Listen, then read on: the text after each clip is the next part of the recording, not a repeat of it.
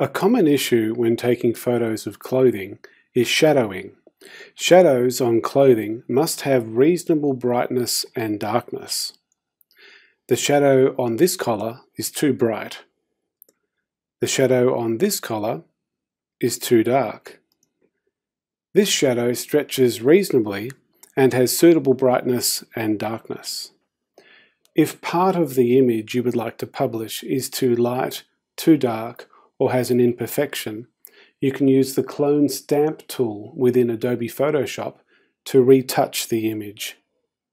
Step 1 involves opening the image in Adobe Photoshop. Activate Adobe Photoshop on your computer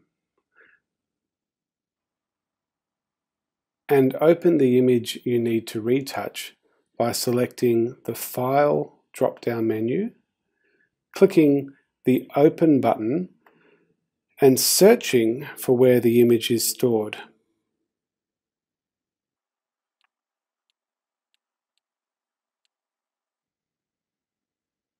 Step 2 involves zooming in on the problem area.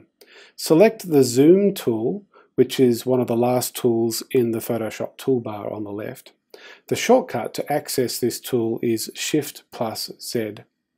Move the cursor into the problem area and click the left button on your mouse or trackpad to zoom in so the problem area fills the screen.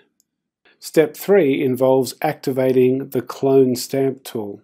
Select the Clone Stamp tool from the toolbar on the left. Step 4 involves working with the Clone Stamp tool. Hover your cursor over the area that you would like to sample. Note that you can adjust the size of the sample area with the square bracket keys on the keyboard. The open square bracket makes the sample area smaller. The closed square bracket increases its size. Step 5 involves capturing the sample. To capture the sample, click and hold the Alt key on a Windows-based keyboard or the Option key on a Mac this will convert the cursor into crosshairs to help you target the sample area. When you are ready to capture the sample, click the left button on your mouse or trackpad, then let go of the Alt or Option key. Step 6 involves painting with the sample texture. Now that you have captured the sample area, you can paint over the faulty areas by clicking the left button of your mouse or trackpad and moving the cursor until you have the result you desire.